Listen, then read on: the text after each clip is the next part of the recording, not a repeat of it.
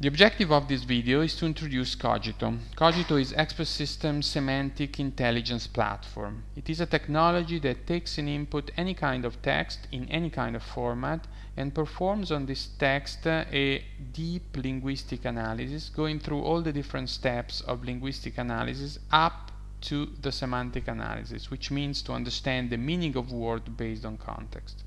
The outcome of this analysis is a conceptual map, basically a structured representation of the content, which is then used to uh, run different kind of applications from semantic search to automatic categorization to competitive intelligence platform to natural language interfaces to enable a very effective and fast and precise uh, automatic management of unstructured information.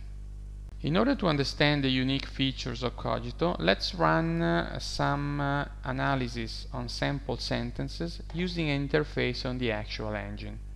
If I write uh, the sentence here, the seat of my lousy Chevy are actually great.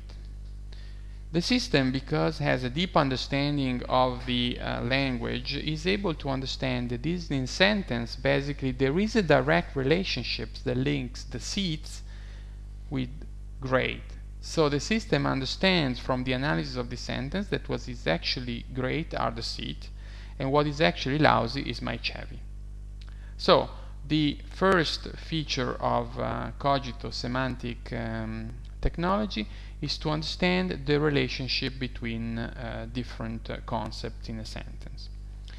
The second important feature of Cogito is instead its capability to perform full disambiguation. For example,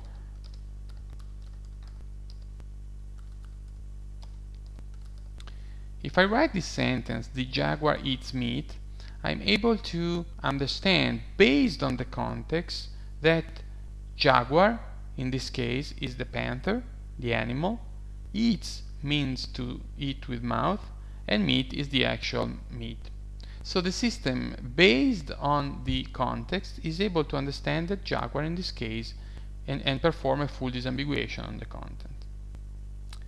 If I make a change and I write something like the Jaguar eats gas, the system is able to understand that in this case Jaguar in reality is referred to a luxury car. That eat in this case is referred to consume and gas of course is referred to gasoline. So the second very important feature of Cogito is its capability to perform full disambiguation. If I add something like this to this sentence, the system is not only able to understand, as we saw before, that Jaguar means a luxury car and gas means gasoline, but is able also to understand that in this case gas has a different meaning even if it's used in the same sentence. So the deep understanding of the language embedded in, uh, in Cogito enable this kind of uh, feature, which are at the basis of a much more precise automatic management of any text. In order to better understand why Cogito can provide such a high level of precision in disambiguation and such a high speed of analysis, it is important to understand that together with the semantic engine, Cogito comes out of the box also with a very rich representation of the English language, which is our semantic net. If I click on the word gas, I open up a window on, on our semantic web. In the window you can take a look in the, in the center and you see that uh, in the center are represented all the different meaning of the word gas. If we choose the one that was selected highlighted in blue, you see that uh, this concept uh, with this specific meaning is linked to other concepts in the English language with different kind of relationship. Basically this is the kind of knowledge that we have and we build over time when we learn about uh, uh reading about uh, the different uh, terminology that we use in our speech.